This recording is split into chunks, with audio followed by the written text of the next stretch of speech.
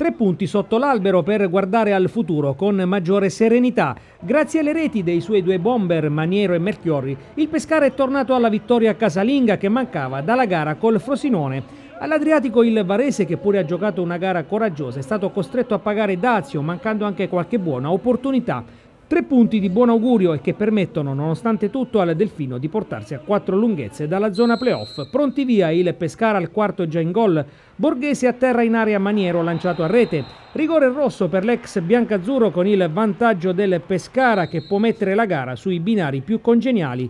In 10 gli ospiti fanno quello che possono e rischiano di approfittare di qualche errore della difesa biancazzurra come accade al diciassettesimo quando dopo una palla persa da Zampano il Varese guadagna una punizione che Zecchini per poco non trasforma in rete.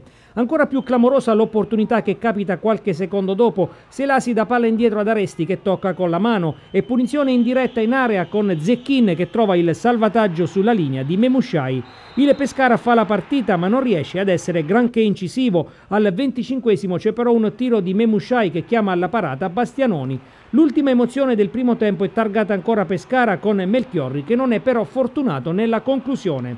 Nella ripresa subito uno spavento per la squadra di Marco Baroni con Barberis che si divora il pareggio tirando al lato. Il Pescara chiude però la gara al quinto, azione travolgente ancora di Memushai che poi lascia Maniero che serve su un piatto d'argento un pallone a Melchiorri che deve solo appoggiarlo in rete. Gara chiusa quasi anche se la squadra di Bettinelli non ci sta.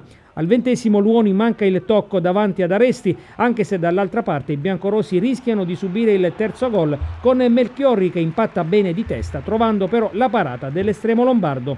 Il finale questa volta è senza batticuore, con una conclusione fuori misura di Zecchin e un tiro sull'esterno della rete del neoentrato da Silva. Il Pescara può far festa e ricevere questa volta anche gli applausi della curva nord, ma a Livorno occorrerà una pronta conferma.